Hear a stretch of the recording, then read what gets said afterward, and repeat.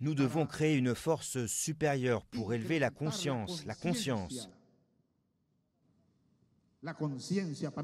pour nous rendre compte que ce chemin est le seul chemin, avec des différences et sa diversité.